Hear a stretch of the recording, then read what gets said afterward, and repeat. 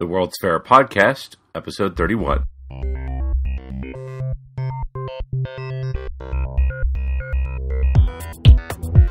In this episode, we talk with Stefano Gatti, the Director of International Affairs for Milan's Expo 2015, the next large World's Fair. We talk about the Expo's physical plan, as well as how they plan to present its theme of feeding the planet energy for life.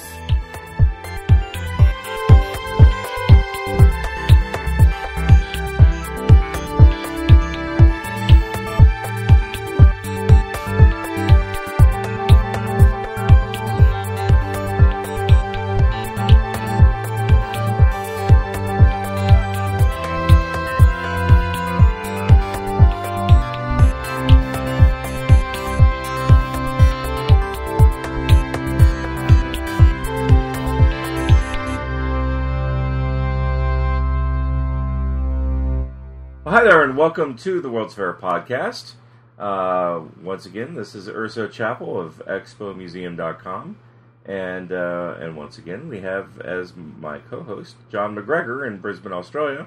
He is the founder of Foundation Expo '88. Uh, sir, how are you? I'm doing pretty good. Uh, like some of the other podcasts we've done, we have a, a sort of wide range of geographies involved. Uh, I think we're we are three uh, people here on the line are three pretty equidistant across the planet. So uh, we're in completely different time zones. Uh, so you have to bear with me because it's way early in the morning for me and way late for John. Uh, but I will uh, hand things over to John for the introductions of our uh, guest. Thank you very much, Urso. It gives me great pleasure to introduce to, to introduce to our listeners a very special guest today from Milano Expo 2015. In fact, he is in Milan at this present moment in time, and his name is Mr. Stefano Gatti, uh, the Director of International Affairs for Milano Expo 2015. Now, uh, Mr. Gatti or Stefano was seconded to um, Expo 2015 from the Italian Ministry of Foreign Affairs. He's had over 20 years' experience as a diplomat, including um, postings to the permanent mission to the United Nations in New York, to India, and also to NATO. It's our great pleasure to welcome you to the World's Fair podcast. Uh, Stefano, how are you? Thank you.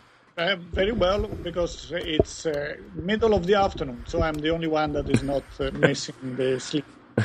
That's quite all right. I need an excuse to get up early sometimes. So uh, we're really uh, privileged to have you on the podcast, and I uh, and I know John and I were very excited when Milan won the bid for for Expo 2015. So if you could sort of give us a little bit of background and tell us how you got involved with Expo 2015 to begin with. Oh, thank you. I was I started working with the Expo 2015 company. That is a company has been set up by the government of Italy with you know the mission of organizing the Expo in 2009. So uh, the the story of the candidature obviously comes from before that. As you know, we have been assigned the Expo in 2008, and then before that there was the whole uh, you know, activity of the candidature.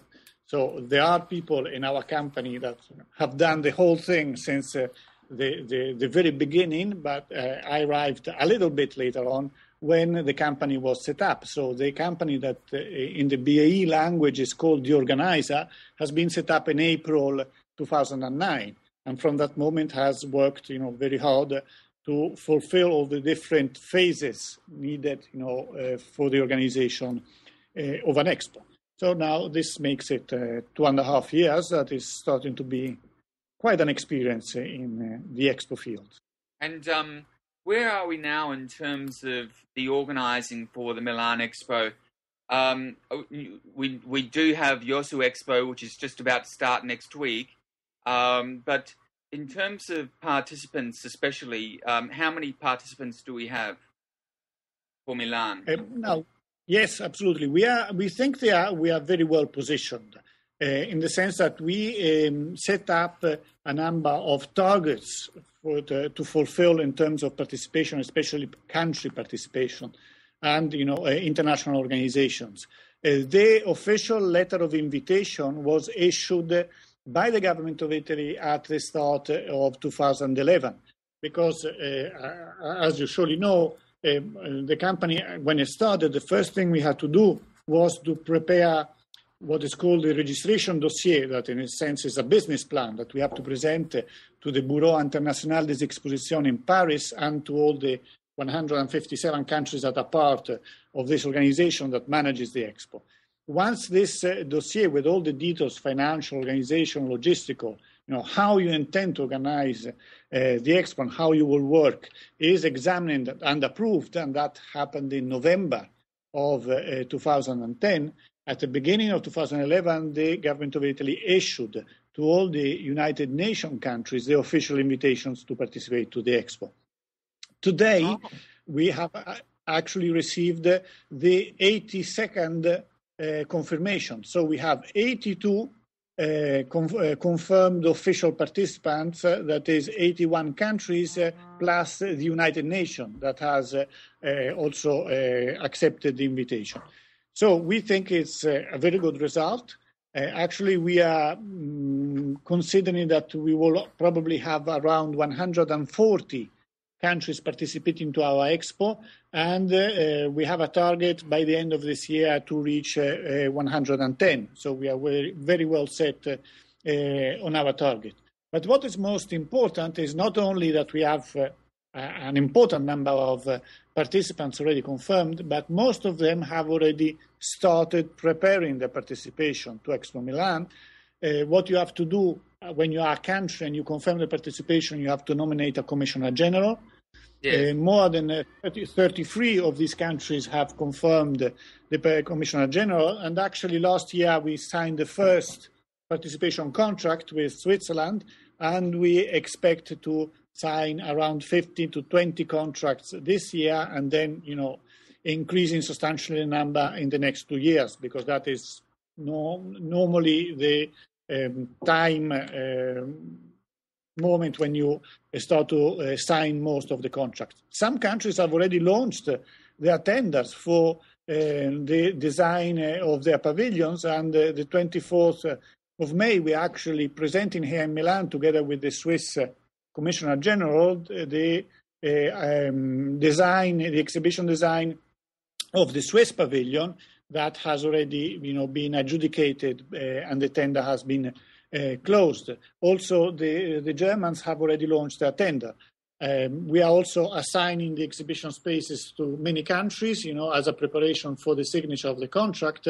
So I would say that we are very much inside the operational phase of the engagement of the countries. But as you know, there are not only countries that participate nowadays to expos, there are other categories of participation uh, to whom we attach great importance, and my team uh, uh works and has also that specific uh, mission inside the company. So we are working also with uh, a number of international regions that will be present at the expo with the corporate sector.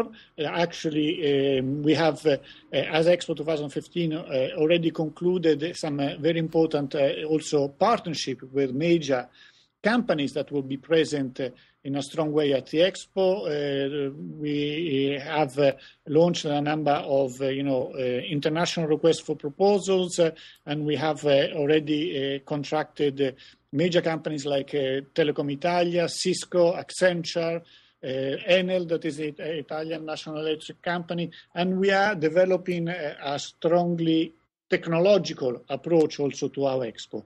Finally, we have another category of participants that is very important for us, that is civil society. So we are already discussing with around uh, a coalition of around 40 uh, uh, Italian and international uh, civil society organizations that will be actively participating to the expo, and we are assigning a specific area of the expo site that will then be, you know, made live and managed and organized by these uh, um, NGOs. So as you see, we are trying to develop uh, uh, an expo where all different categories of participants, as uh, the, the you say today is normally called all the stakeholders of the international yes. community actively yep. participating. Plus, obviously, well, that is the, the real added value of an expo. We expect millions of visitors. So the expo have today this really unique feature of putting together not only all the different stakeholders of the international community, you know, from the countries to the civil society organizations, but also to connecting them with millions of uh, common people. You know, the visit of the expo, we expect 20 million visitors. to our right. expo, more than third coming outside Italy uh, from Europe and the rest of the world. So we expect a very uh, you know, universal expo, a really world expo, not an expo concentrated only on the visits uh, of uh, the visitors from the country, even if obviously yes. Italians will be very numerous. Yes, a, a third for um, visitors from outside of Italy is, is quite a high ratio. Usually at a world exposition, you will get about 5% or 6% of international visitors, but a third is a very high ratio indeed. Um, you mentioned that you're hoping to get 140 international uh, representations. Um, do you have a target for international um, organizations as well? Um, how many international organizations do you have at the moment uh, registered to participate? Yeah, now I, I will answer to that uh, really ma- making a reference to the theme of the expo. As you know, the, the theme of the Expo in Milan 2015 is uh, feeding the planet energy for life. So yes. is the, the issue of uh, nutrition and food that is one of the big challenges that humanity is facing today, and all the connected issues, you know, sustainability, environment, uh, food safety, food security, right to food. So many really very important and, and key issues for the future uh, yeah. of humanity. For this reason, we have identified two major priorities. That is, United Nations system, of which a number of key parts of United Nations. As you know, United Nations they have the Food and Agriculture Organization that is based in Rome, but they have also the yes. World Food Programme, uh, and, a, number of other agencies that deal with the issue of food, but they also have the World Health Organization uh, the, uh, that obviously has a connection with food because food and health is a fundamental um, uh, key issues. UNICEF that deals, you know, with uh, hunger and all the issue of nutrition for children. So there are really many, many agencies of United Nations that are interested. We invited the United Nations, and already in April last year, the Secretary General replied to uh, to the invitation of our Prime Minister, you know, accepting, and uh, we are developing. We have already set up a working group. the Secretary General has. Uh, given to uh, FAO, the Food and Agriculture Organization that is in Rome, the role of lead agency to organize the whole United Nations world for, and, uh, to, to, participate actively. And we are also developing a very innovative way of presence of all United Nations agencies that uh, play a, a, key role on the issue of food uh, worldwide. Uh, we will uh, we have proposed to them not to set up a specific you know exhibition area that we do not think is what United Nations as such should do, but they should be present horizontally throughout the whole content and theme of our expo, and uh, we are working on different, you know, on the thematic pavilions with them, with an international competition on the best practices uh, on food and nutrition, on communication activities. Uh, we are partnering also with some major uh, companies. Microsoft is another one in which we are, you know, at the final stages of, uh, of important technical discussions in order to communicate and provide also through technology a communication to all the visitors of, uh, you know, um, of, of who is doing what in terms of nutrition around the world, and we're working uh, uh very closely with that with the uh, United Nations, as I said, and we are setting up uh, a joint t- um, team between Expo 2015 and the United Nations that will. you know, work from here to 2015 on all these different issues. We are also hoping to host a major, you know, event in 2015 by the United Nations in Milan, because as you know, 2015 is also the year in which the Millennium Development Goals of the United Nations uh, expire, come to their conclusion. So it will be a key year when the international community will take stock of what has happened, the results, if we have achieved these goals or not, and what uh, will the international community be doing in the future. So uh, we are often in Milan as a key uh, international platform where to develop this discussion and uh, you know take forward the international community and United Nations towards uh, you know the after 2015, what will be eventually the new Millennium Development Goals that most likely will be called the, the Sustainable Development Goals because everybody now is uh, is convinced that you know the key issue when you confront an important problem like uh, um, nutrition in the world is uh, sustainable. So, how do you provide necessary, healthy, and secure food to all the people of the world uh, in a sustainable way, respecting the environment, and that is uh, a key issue. So, United Nations is one, as we have said. The, the whole United Nations system is very much involved and we're actively working. The second key interlocutor for us is the European Union. Not only because the European Union, and we are in Europe, and Italy is a part of the European Union, but because, as you know, the European Union is a major player internationally what regards the production and the distribution uh, of uh, food and you know uh, nutrition worldwide. It has major program. It has an, a common agricultural policy that is you know a subject of intense discussions both in Europe and worldwide. So is a major player in the issue of nutrition. What the European Union, the 27 European Union countries will be doing or not doing in this field in the future is uh, extremely important for the whole world. Uh, so we have uh, officially invited the European Union, and we are expecting, we're already working with them, you know, in preliminary intense discussions, but they should confirm very soon their participation, and we will, we will set up a team also with the European Commission experts uh, to, uh, to deal and discuss with their participation. This is are the two key international organizations we're working with. Then there are a number of technical organizations that really deal with food. You know, there's uh, organizations in London that deal with uh, trade in uh, coffee, in uh, cocoa, so in a number of uh, very important different food staples. Uh, one in Asia on rice. So these more specialized organizations are also key interlocutors for us, and we expect them, you know, to participate actively at the expo in, in Milan. So overall, uh, um, we are extremely satisfied of the result. We have a very extended international participation, but also private sector participation and civil society.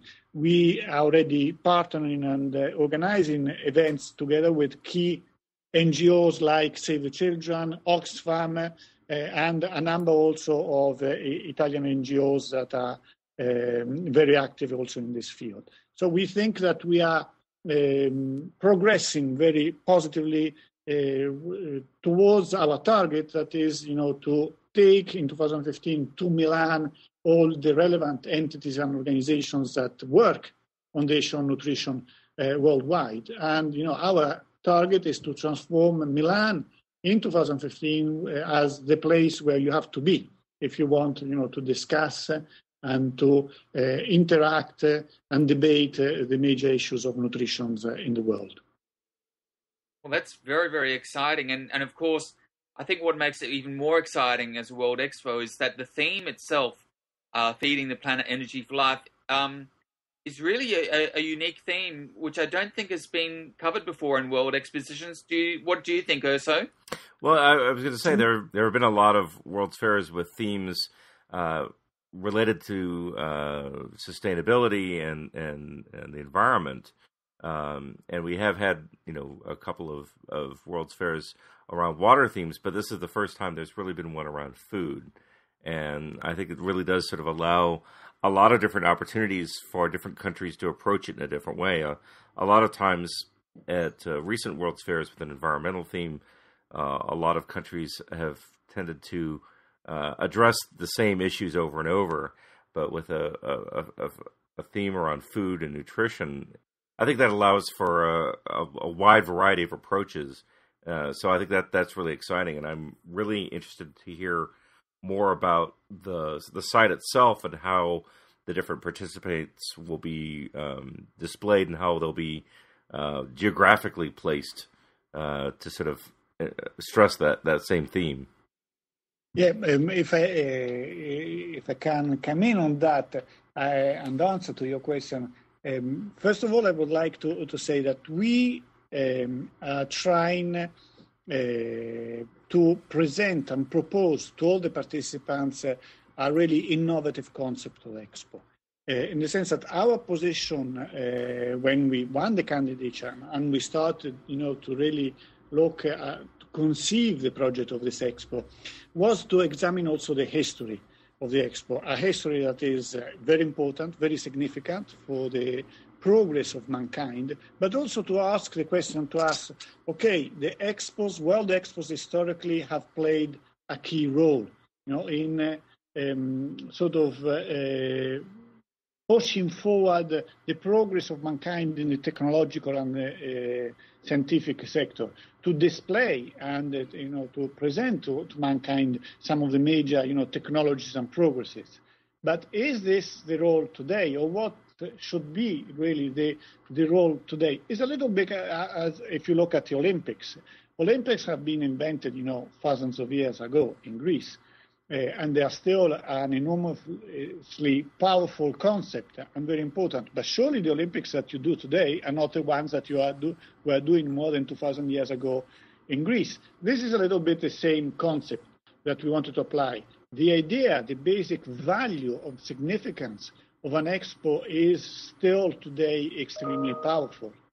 But uh, how can we produce an expo that is really up to the time, to what uh, the society and the world is today. That is an horizontal society, a social network, uh, a society, and also a society where borders actually do not exist anymore and do not have the same significance as, as they had long time ago. So this is uh, a little bit work, the work that we uh, have been doing. So the first answer is that we will not position the countries geographically, because we think that is not what the world is today.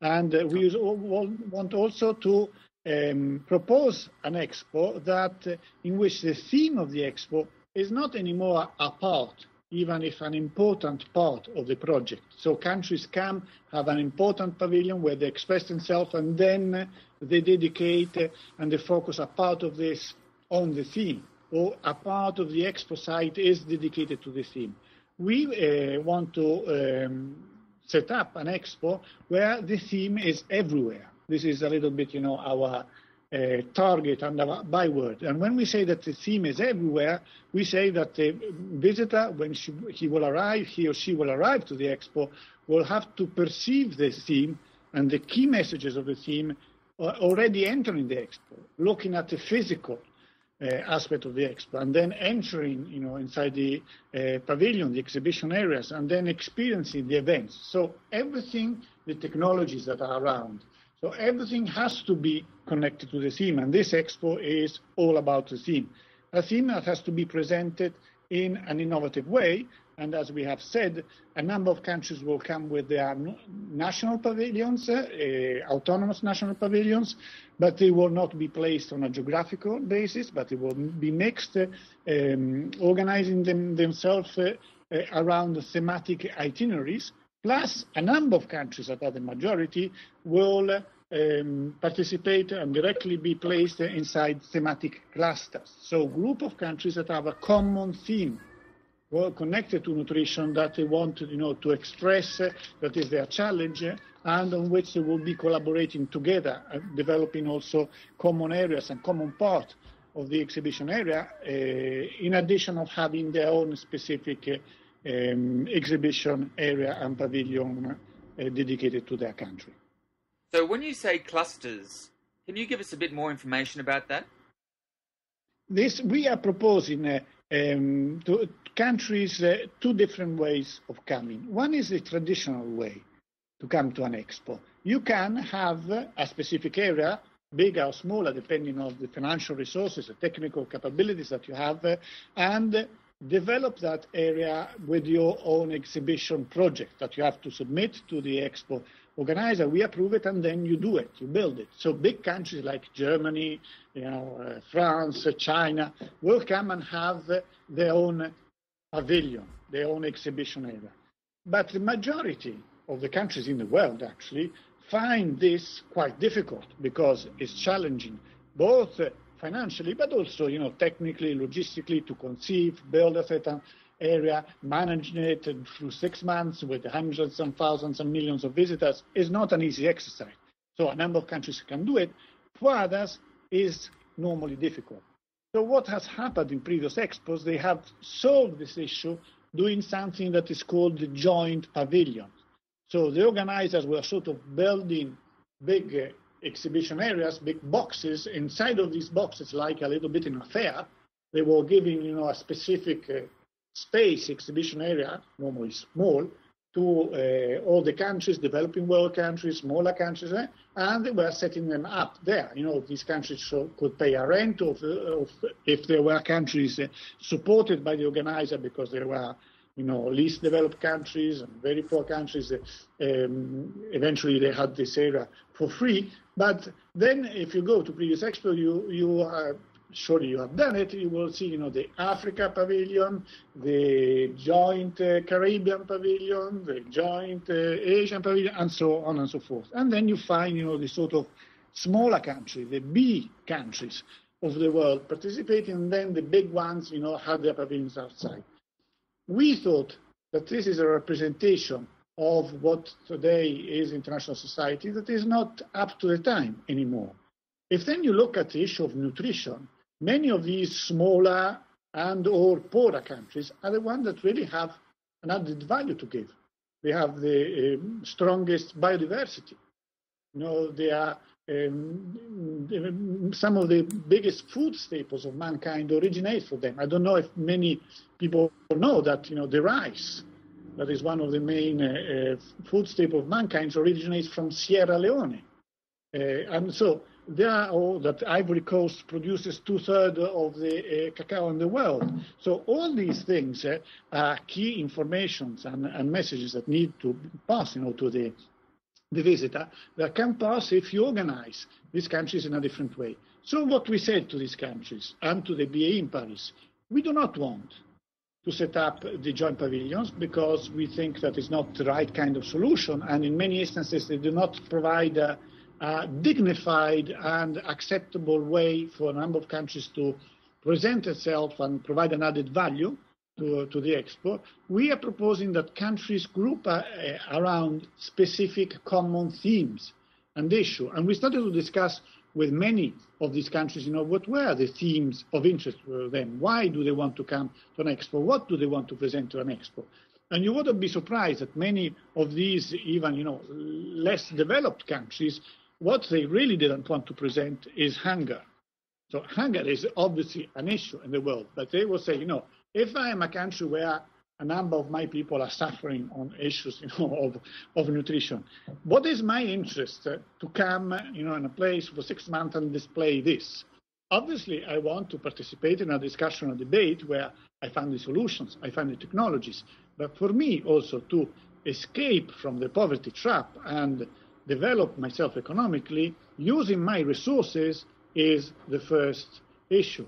So really, what these countries have as resources to present to the world, the peculiarities, the added value, their culture behind it, this is what these countries want to take coming to the expo and uh, what we an expo is interested to present to millions of visitors. This doesn't mean that we won't confront also the serious and key issues, you know, of poverty, um, hunger, but those will be part of the events, of the conferences. But when countries come and have the exhibition area, they really have to display their richness and their resources. The result of this process also of dialogue and discussion with many of these countries is that we have agreed with them nine different thematic clusters. So nine areas in the expo site where a number from four to ten countries were grouped together in a common exhibition area that you have to consider a little bit like a village. You know, we as an organizer will develop and build this village, but each country will have its own house, so it will have its own uh, autonomous, you know, uh, space where to develop also the peculiarity, but they will also have, you know, a common uh, piazza, a common library, common services, and places that will be dedicated to a certain theme uh, where these countries will be working and collaborating together with us and the organizer. And we have come out with nine titles uh, of the expo, uh, of the expo clusters, uh, inside of which around 80 of the 140 countries participating will be present. So it will be a very key feature of our expo. And uh, uh, I give you the list of the nine titles from which you will understand, you know, what is our approach. So the, uh, six of these clusters are organized around food, key food staples. One is rice, so there is the cluster of, of rice uh, that is titled Rice, Abundance and Security. Then there's a cluster on coffee, that is the title is Coffee, the Engine of Ideas. One on cocoa, that is cocoa, the food of gods. Then we have one cluster on legumes, oils, seeds, and fruits that are key you know, to the biodiversity and the nutrition in the world. Another cluster, the title is The World of Spices. Another one is Old and New Crops.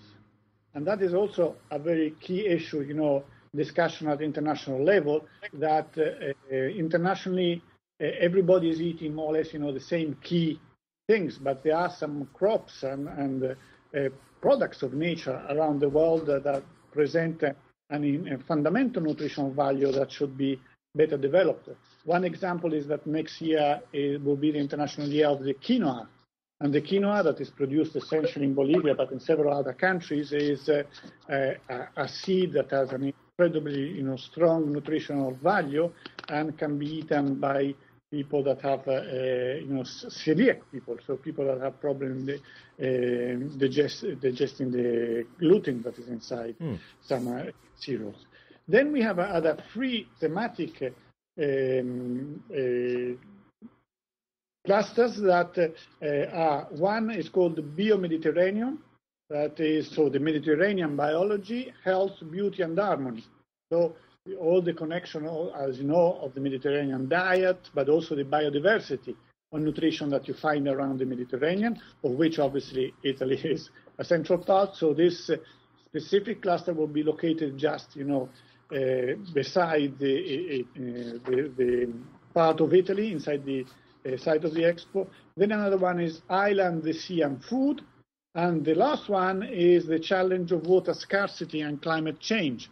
So we will have a number of countries that represent a lot of, you know, desertic areas uh, or have uh, scarcity of water, and there they will present, you know, how do they face these uh, these problems and what are the technologies and the solutions, also in terms of crops and produ- production of food uh, to solve, uh, you know, um, feeding their people in these difficult difficult uh, climates. So as you see, overall there are nine different thematic clusters that will offer also an interesting uh, opportunity to visitors. You can imagine that, you know, when uh, one of the millions of visitors will come and they have only a choice based on countries, uh, probably, you know, the, the most well-known countries of the world are the ones that will be visited. So if you are a normal family, as it was in Shanghai when I went to the expo in Shanghai, the Chinese family enters and the conversation, I saw a number of them say, you know, where do we go? So the first thing is that they went to uh, the volunteers, to the girls, say, where do I have to go? And obviously the volunteers, they said, you know, they, they answer to you, I don't know, where do you want to go? and then at that point, they choose the, the country they know better. So everybody was, you know, outside the United States, France, Italy was a very popular pavilion, and whatever. But you really didn't have the opportunity to discover those countries, those resources, you know, the, the richness of the world that are the countries and the places people do not know about. So we thought that uh, in, you know you probably won't be going to the exhibition area of Sierra Leone as, as, your first choice. But if you go in the cluster of rice, you will meet Sierra Leone there because from Sierra Leone all the different kinds of rice come in the history of humankind. So, so on for coffee, so on for you know legumes, for the spices, and so on and so forth. From each of these clusters, there will be then a thematic itinerary for the visit of the people that will connect also some bigger countries. So countries like India, Japan, or China will actively participate to the issue of rice, not because they are placed inside uh, the rice cluster, because they will come with big exhibition areas, but it will be a stop inside, you know, part of the itinerary on rice that will be built starting from the rice uh, cluster. So this uh, solution also of building thematic itineraries for the visit Eh, eh, of the people that buy the ticket and enter into the expo is also a way of making this country collaborate between themselves on common theme and engage also the international organization, the civil society in this sort of common work. Because each of these clusters will have a, a common exhibition area on the issue, on rice, on coffee, on legumes, on spices, and so on and so forth, where we will present the key messages, you know, in agreement with all these countries. So one of the innovations we want to present is an expo as a collaborative effort, where countries do not come inside and they replicate the borders uh, that they have in the physical world, but actually they pass over those borders and they use the occasion of the expo as an occasion to uh, collaborate together, present a unique experience to, for the visitor, uh, but also, you know, pass over the borders and uh, start to work together. The interesting thing of these clusters is uh, then you will have countries from different parts of the world. So rice, you will have countries from Africa, you will have countries from uh, Europe, you will have countries from uh, Asia. Coffee, the same thing. You will have African countries, you know, Uganda is a big producer of coffee, Indonesia is a big producer of coffee, Papua New Guinea produces the most expensive coffee in the world. Not many people know about this. So it's a way really to approaching in a new and different way, an innovative way, uh, the, the experience of the visitor, but also the participation uh, of the countries. I'm sure that um, this is a, a very new and innovative way of looking at the theme and how the theme is then articulated into the sub themes uh, through this cluster approach. Um, just one very quick question before I pass it back to Urso. Um, you mentioned that one of the clusters was old and new crops. So when you say new yep. crops, do you mean genetically modified foods? Is that what you mean as well, or? No, uh, now uh, when not exactly in the sense that when we the the, the, the cluster has all the new crops and then another title that is cereals and tubers. So we say all the new crops in the sense that both in the tubers and in the cereals there are specific crops around the world that are not used. So they are limited to a small area, but if they could be more widely used, will uh, give a good contribution to the nutrition of mankind. So when we're speaking about oh, new okay. crops, is using crops that. But let me say one important thing. That is this. This expo is a debate of the international community about the issues of nutrition. We, as uh, the expo organizer, do not have a specific position on something. We, our mission has been set up, you know, to organize a, a, a big event where everybody comes and express its position. So let me say that all the most controversial issues will be discussed in our expo because uh, you obviously um, highlighted uh, genetically modified food, but you can have a, I can give you a list of other seven, eight very controversial and highly discussed issues that today regard nutrition. We want to take and we will take all these issues to the expo.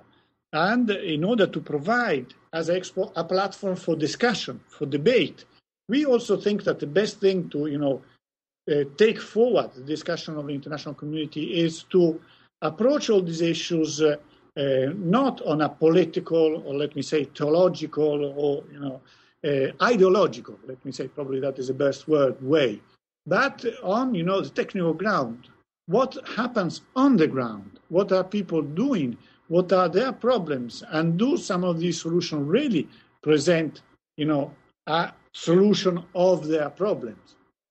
Uh, so this is our approach, and all the different issues will have to be discussed. So I'm sure that I can anticipate that in many of these clusters and also the events, because these clusters will have also meeting rooms, places where you will have food and beverage. So obviously the visitor will, you know, go in the coffee cluster and have the possibility of trying all the possible coffees of the world, but also be educated what is behind that. And the same thing for all the uh, other clusters. And we will be discussing, and we are partnering up exactly, you know, with the United Nations, with the European Commission, with some major international organizations, but also with the civil society organizations to organize a programs of events, discuss, discussions, debates, seminars, exactly on these issues.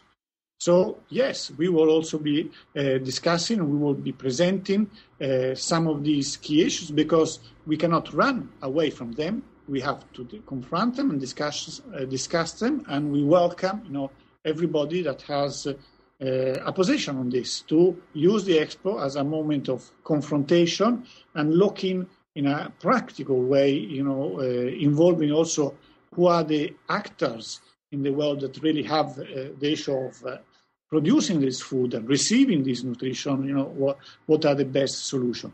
This is one of the reasons why we will have also some very important thematic areas developed and organized by the organizer So not only the countries uh, in itself, not only the um, countries that will come in the thematic clusters, but we as an organizer, we uh, are working on five different, uh, you know, areas of uh, connected to the theme inside the expo site.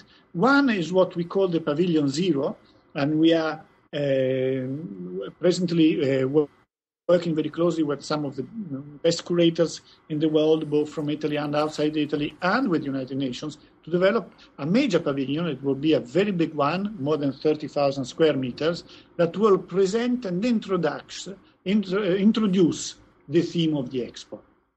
So essentially, visitors will start. Uh, it's at the beginning. Of, uh, it's at one of the two entrances of the expo site. So people will get in and have a first, you know, a major exhibition where they will be presented the theme of the expo, the issues, the history, obviously connected to mankind, of nutrition and how um, how um, mankind has influenced food and how food and nutrition has influenced the development of mankind, but also what is the present day debate of the international community. So, the Millennium Development Goals, more than half of them are connected to the food. What are the uh, targets that the international community is developing for the future?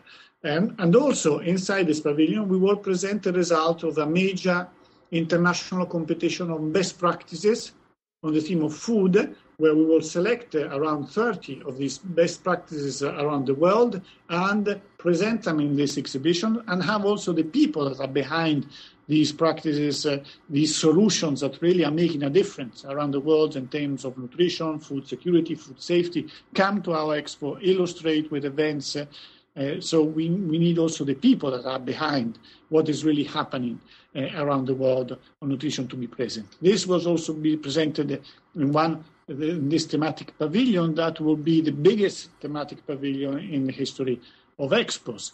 Then we will have a thematic pavilion in food in art.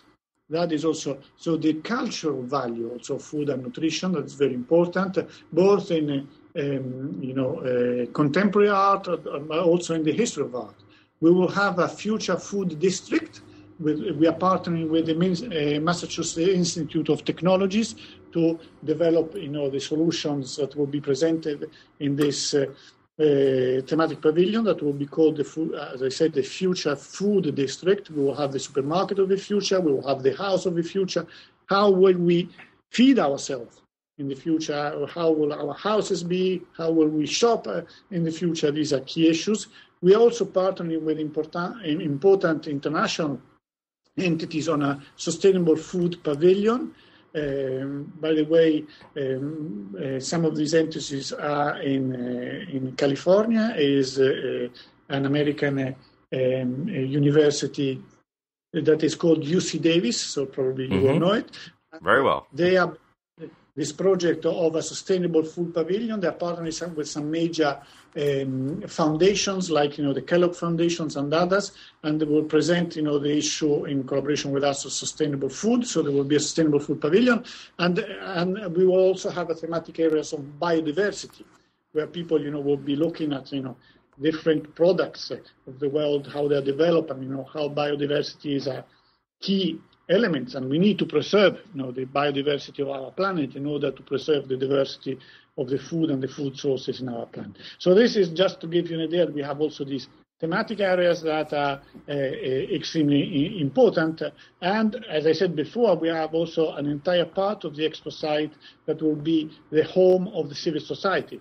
So it's uh, old, actually, uh, uh farmhouse that were an integral part of the economic development of the Lombardy region that was very strong in agriculture before becoming, you know, the um, one of the, uh, the industrial powerhouses and financial powerhouses of the world. And this old farm uh, yard will be, that is very big, will be completely restructured and will present uh, offices, meeting halls, uh, exhibition areas that will be given to the civil society organization and they will, you know, manage with a high degree of autonomy and presenting also their content and their point of view on some of the key issues uh, of nutrition because around the world civil society plays uh, a really fundamental role.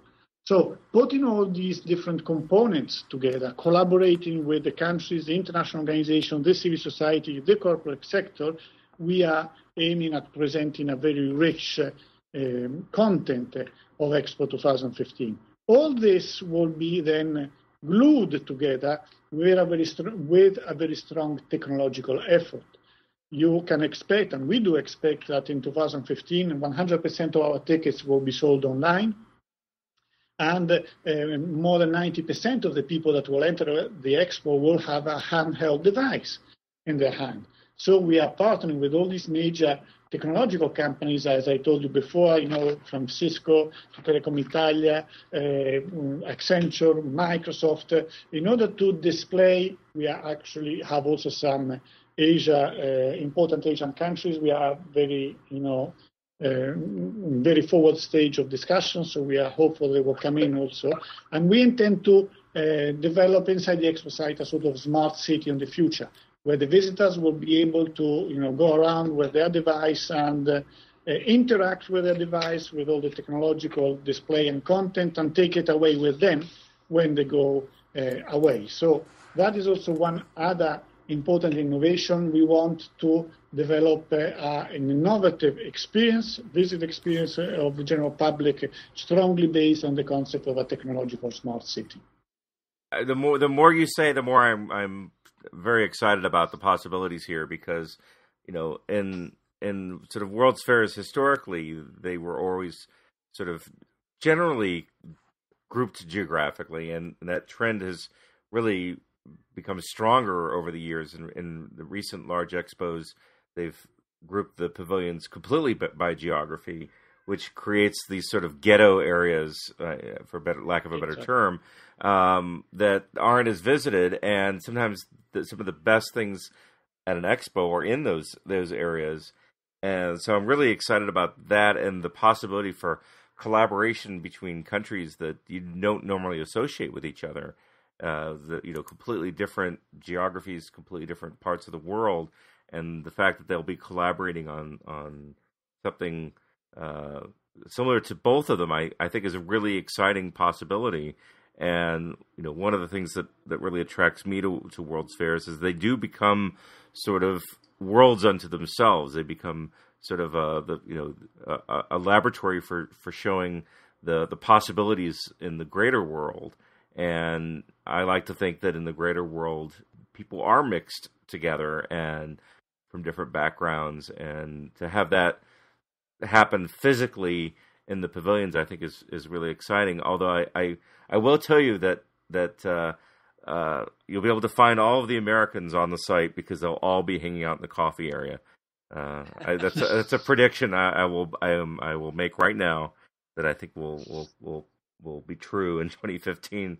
So I I'm really sort of excited about that, and and it, really excited about the fact that different organizations from all around the world are, are and, and companies around the world are, are involved in this, and I I think it really does sort of speak to the reality of where we are in the world right now. That that that borders aren't as important, and sometimes you know collaborations between Estonians, Thais, and you know Cambodians are you know are, are are you know Ukrainians and Argentinians. I mean, those kind of combinations, I think, can really prove some of the you know richest possibilities at something like that. And I, I I'm really excited to see what is happening here, and I hope that this trend continues in the future. This this sort of organization, because I think this really is a, a complete game changer uh, with World's Fairs.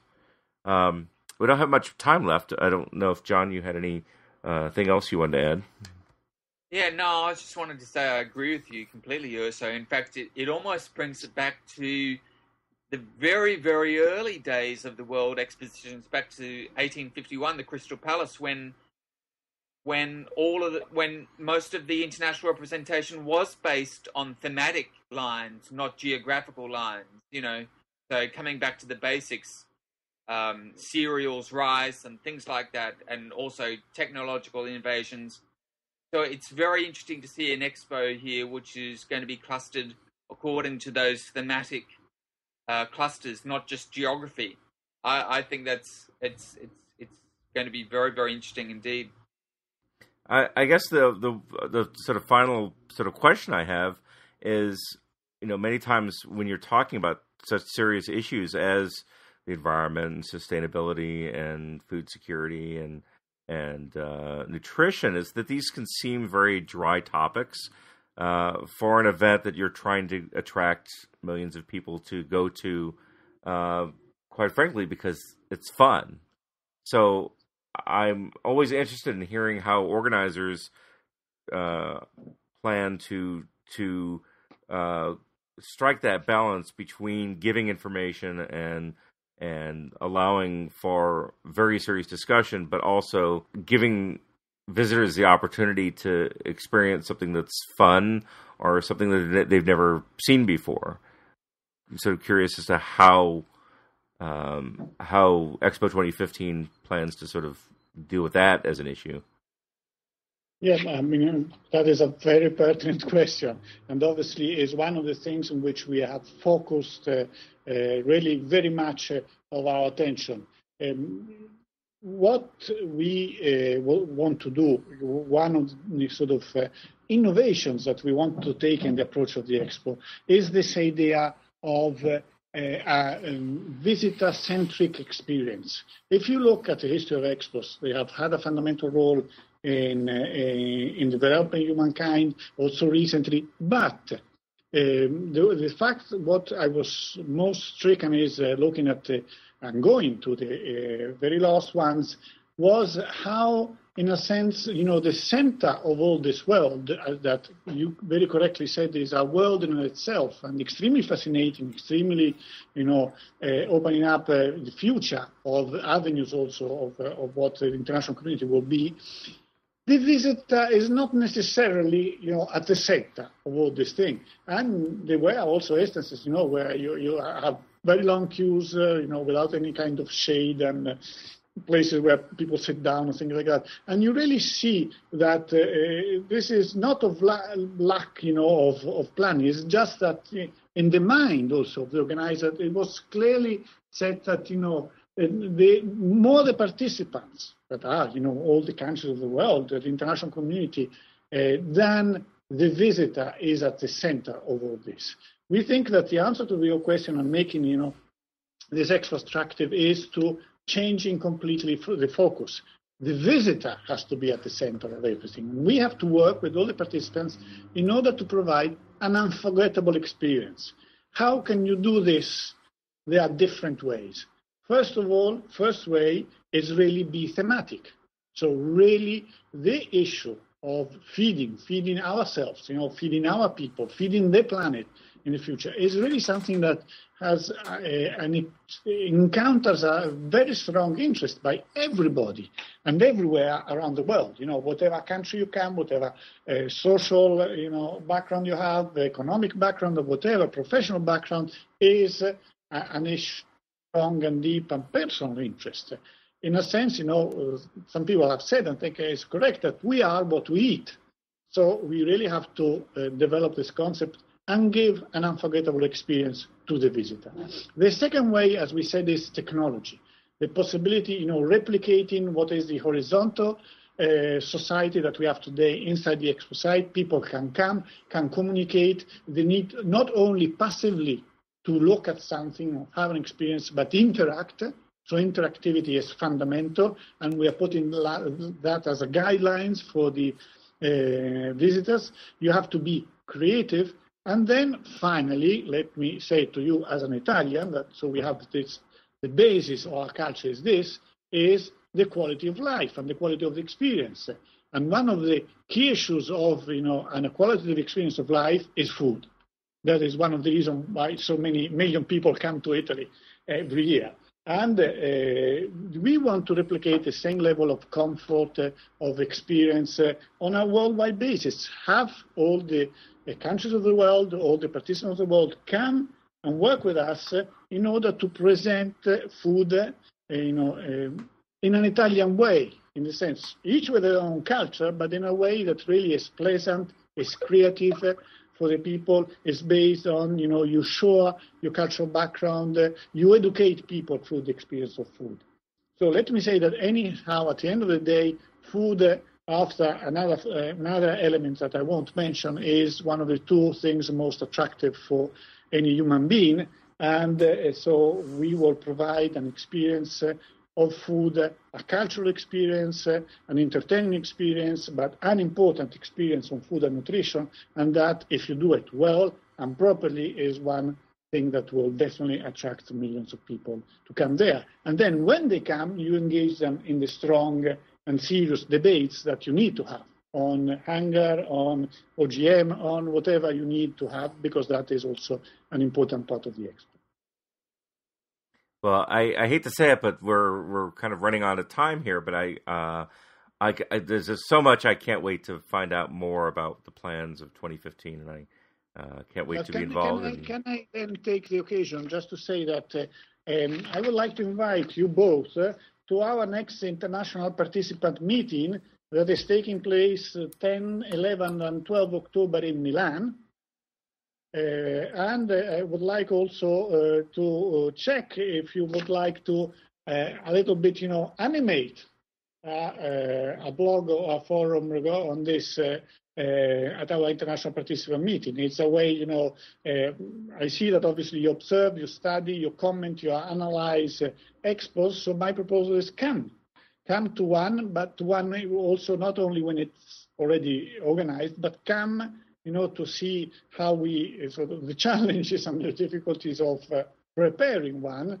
And we will be extremely uh, happy to, you know, uh, organize with you in, uh, in a way to have you here, but also see how through our uh, technology and communication means uh, we could have you and be actively engaged in blogging out and informing people and who follows also your uh, your work about, uh, you know, an inside view of uh, organizing an expo. I, I, would definitely love to be involved on, on something, and we'll definitely have to talk about that.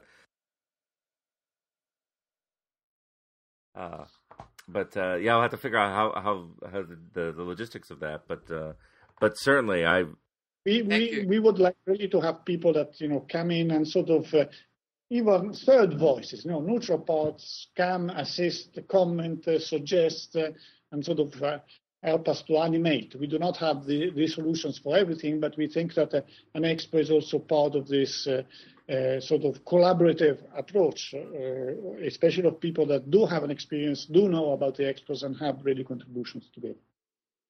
Yeah, and I and I, I will also add that I'm really excited about the organization's outreach to lots of different areas that that previous World's Fairs hadn't really done, which is uh, things like uh, here in San Francisco, we have the America's Cup coming up, and I know that Expo 2015 is is uh, sponsoring one of the the yachts at the race here to to sort of let people know in San Francisco about about the expo, and um, that's something I haven't seen happen at, with other expos, and I'm I'm um, really encouraged by that. So it's been a great podcast. Thank you so much, Stefano. Um, that's been so informative and insightful as well. Um, we could go on for hours and hours, I'm sure, but I think I think we do have to, you know, stop there. So, um, well, in the next three years, we will have more hours to do that. yes. but think about October. I think it's a good occasion to to start to go in depth. Uh, uh, on these things. And then we have also, by the way, a team uh, or people that, you know, we have a web team that works on our web communication. Uh, so it's, you know, it would be interesting also for you to meet them and, and, see what kind of collaboration we can have. Well, thank you so much for, for being a part of our podcast. And I, um, I, I'm, I'm sure our listeners will, will, will have gotten a lot out of this and, and will have even more uh, questions and, and want to find out more in, in the future. And um, and we'll have uh, uh, okay. three years to tell everyone. Absolutely. So Fantastic. thank you very much. Bye. Goodbye. Thank you. As always, we'd like to thank our listeners as well. Without listeners, we'd just be talking to ourselves. You can help us out in many ways, but mostly by providing feedback. You can email me at urso at expomuseum.com. That's U R S O at expomuseum.com are calling our question and comment line 650 Ask Expo. Despite the name, you can leave questions or comments there, and we'll play them in a future episode of the podcast, or not if you instruct us not to. Uh, naturally, we have websites. You can find out more about the World's Fair podcast at worldsfairpodcast.com. The podcast is a project of expomuseum.com, and John's organization can be found at foundationexpo88.org. Expo 2015's official site is at expo2015.org. You can also find us all on Twitter with the following names at Expo Museum, at Urso Chappell, that's U R S O C H A P P E L L, at F Expo 88, and at Expo 2015 Milano. Not surprisingly, we're on Facebook at facebook.com slash World's Fair Podcast. In our next podcast, episode 32, we'll be looking back in time instead of forward, back to 1888's Centennial International Exposition in Melbourne, Australia. Once again, thanks.